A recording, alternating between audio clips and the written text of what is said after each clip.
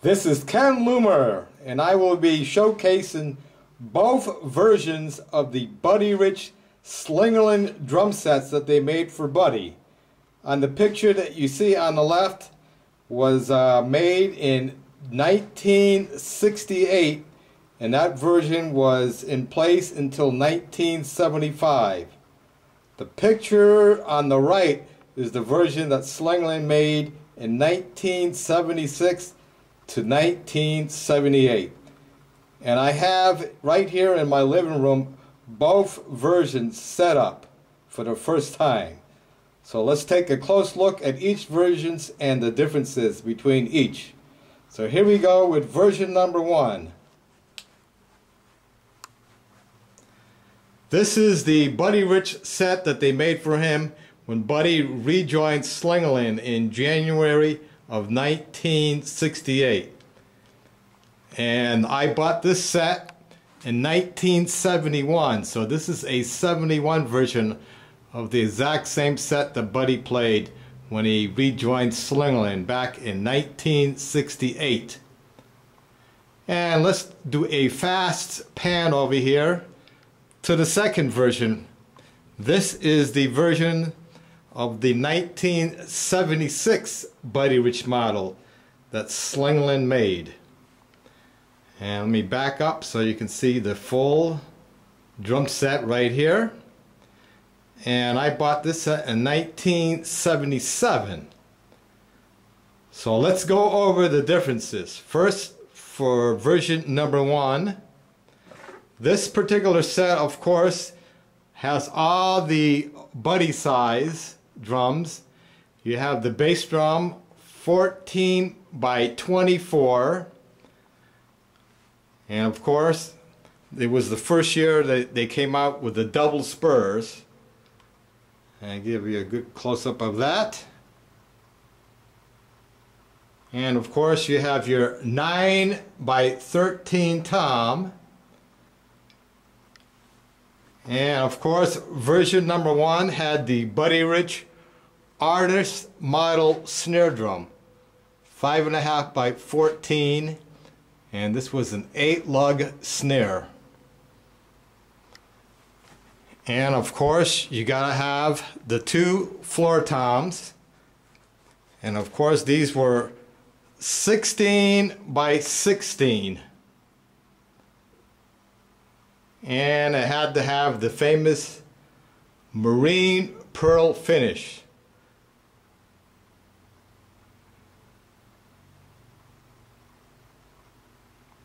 And of course, you got to have the cymbal arm for the ride cymbal, cymbal arm for the splash, and then Slingerland made at that time the Set-O-Matic tom holder. And now let's go over the differences between this version And of course, this one first came out in 1968, and the second version over here, which came out in 1976. So the first thing you have to say is how they made the drums. This particular model back in 1968, they use a three-ply shell with solid maple reinforcement rims. And the rims at the time were chrome covered brass for version number one.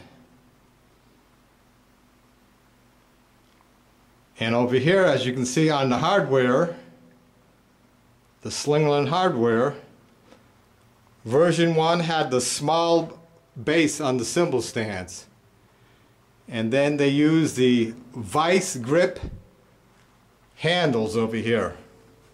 As you can see those big handles, the vice grip handles.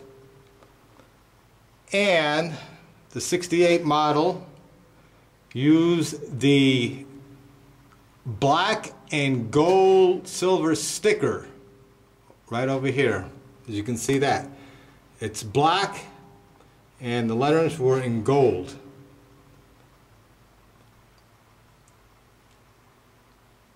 Now I'm lucky I took super great care of these sets. So they look absolutely brand new, like they just came out of the box. And another difference was the first version of the hi-hat stand, they call the Dynamo hi-hat stand. It had a blue base on it.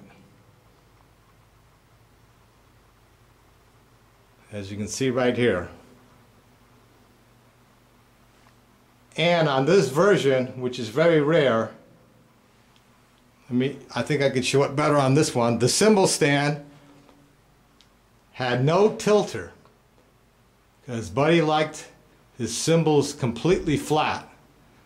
So this first version, which was a special order, no tilter. And of course, Buddy liked the Zildjian cymbal snaps for each of the stands. As you can see,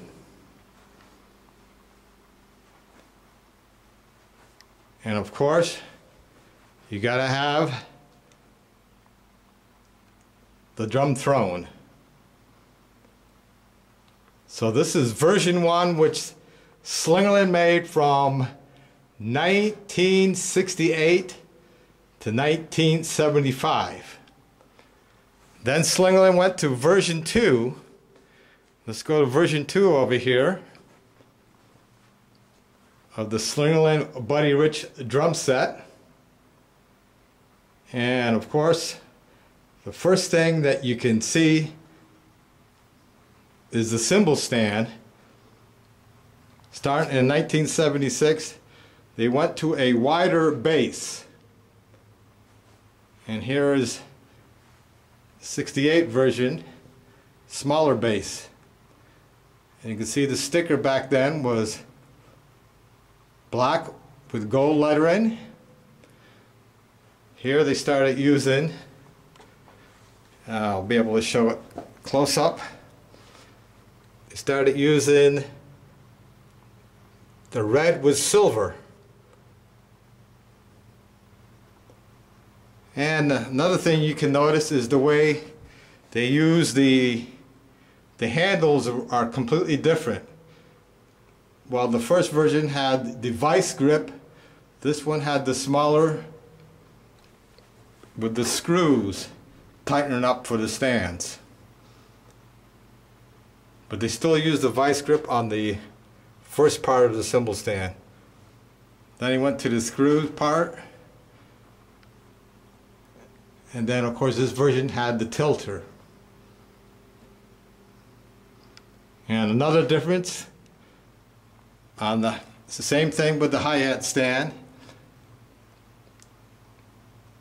This part's different. And on the, they had the vice grip on the original Dynamo hi-hat stand. As you can see, this one had the blue base and this part is now they have black.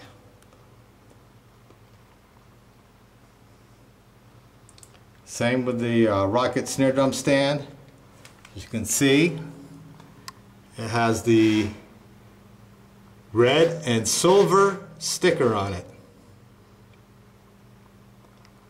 And now see this particular drum set I got in 1977 and for the first time they used a five ply shell as opposed to this one.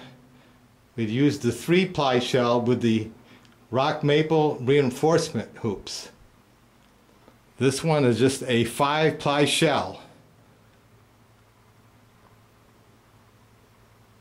and they started doing that in 1977 and of course it still has the famous Set-O-Matic tom holder. And of course the L arms for the splash the L arm for the ride cymbal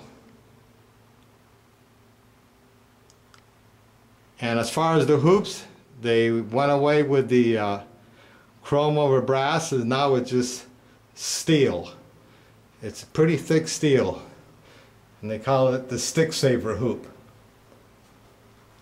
And another major difference between the two versions, this one came with the Buddy Rich Artist model, which had the Zoomatic strainer on it,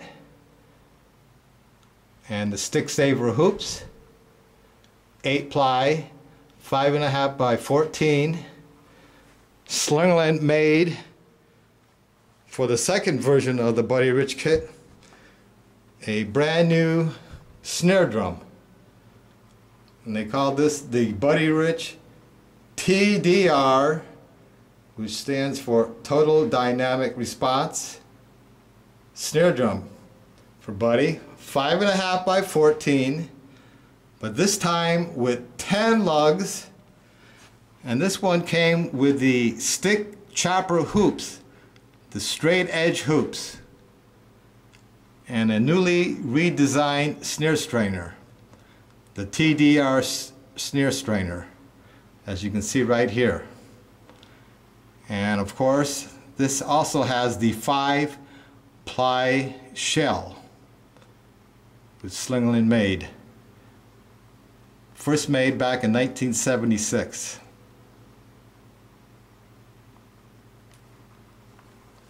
And this is the exact same set as you see in the picture. There's the Dynamo hi-hat stand, rocket snare stand, the Slingerland Tempo King pedal. Of course, you got your two floor tom-toms. You got your 9 by 13 tom. And this particular set, which is really rare, this one I bought with the 14 by 26 inch bass drum.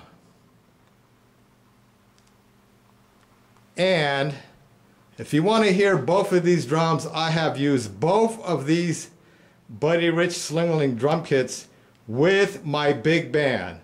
So I have lots of videos of me playing these drums so you'll be able to hear them live in concert. And some of the videos I even make sure so you know what drum set I was playing. So if you want to see me play like the 26 inch bass drum, I posted that, that on YouTube and you'll be able to hear these drums. And the same with this, with the 24 inch bass drum. And like I said, both of these drum sets are in near mint condition. This is a part of drum history. Slingerland drums were at the time in 1968 the world's largest manufacturer of drums.